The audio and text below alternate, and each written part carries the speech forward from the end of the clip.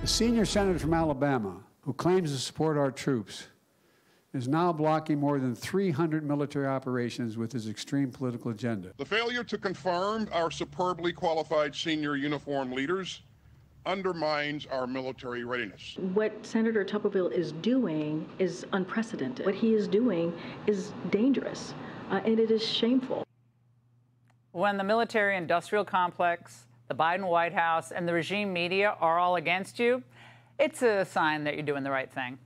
The senior senator from Alabama has been learning that lesson since February of this year, and that's when Defense Secretary Lloyd Austin rolled out the Pentagon's formal, formal plan to fly service members to blue states so they could access abortion services, all in the name of military readiness, we were told.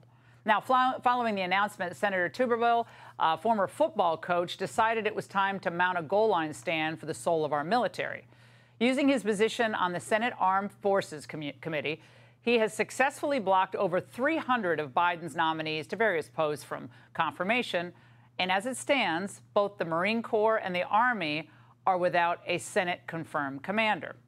Now, despite months of relentless attacks, the Alabama senator has stood his ground and dug his heels in at every turn in the name of protecting our military from the rot of these progressive politics. He joins me now. Senator, um, now, couldn't this just be all over if the Pentagon just backed down from what is a radical position on abortion services? And how does that have anything to do with military readiness?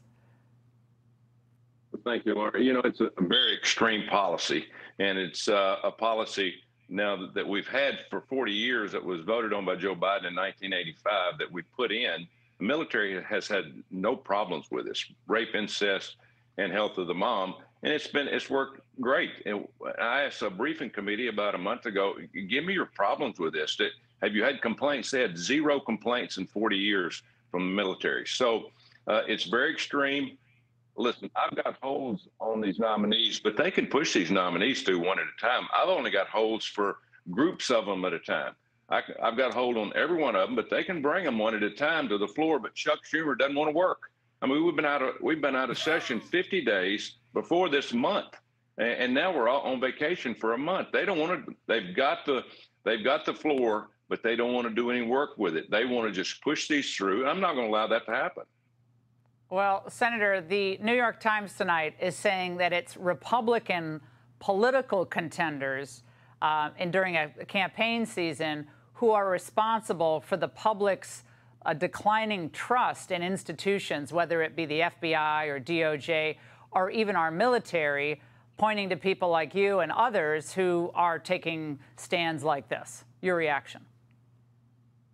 Well, the Democrats have been a disaster, and I'm not a politician, Laura. You know that, and I've been up there two and a half years, and it's an, an embarrassment to how we're running this country. We're 32 trillion in debt.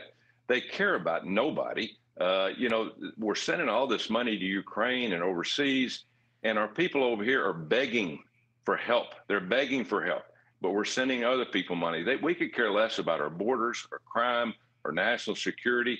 Uh, there is zero leadership in Washington, D.C. I'm talking about no leadership. And everybody's kind of looking around on the Republican side going, uh, what direction are we going? Uh, we're a- actually looking for some leadership, but uh, we don't have any. There's there's none in Washington D.C. when it comes to the Democrats, and if we don't change that, I don't know whether a year and a half uh, when we do change presidents, and that will happen. I don't know whether, whether we're going to be able to survive to that point because we are we have hit the downslide so quickly in education, our FBI, all our institutions are are gone. And again, as I said earlier, we're dead broke. This country is dead broke, and they want to spend more money in the next year and a half. I don't know where we're going to get it from. Well, a new poll is showing that Americans, as I predicted, are growing very tired of funding the regime's war in Ukraine, or the proxy war, of course, against Russia. This was a new CNN poll released on Friday that 55% of Americans say Congress should not authorize additional funding. Same percent of independent voters agree. 56% said we've done enough. Uh, will this make any difference? Because in past conflicts, it's taken a long time for politicians to get the point. Yeah, we're not getting the point in Washington, D.C. I haven't voted for a dime to send Ukraine. I'm for Ukraine. Russia should have never done this. I was in uh, Ukraine three months with uh, President Zelensky before this started, they were already fighting to that point. But at the end of the day, it's a junior high team playing a college team. Uh, they can't win. Uh, we can throw all the money we want to, uh, but unless we send NATO and our troops over, which we're not going to do if I've got anything to do with it, then then there, there's no chance. So they're trying to get the everybody's eye off the real problem over here, and that's the Biden administration and the Democrats. They're a total disaster. Well, a woke military is not going to be a successful military. Senator, thank you so much. Keep up the good fight.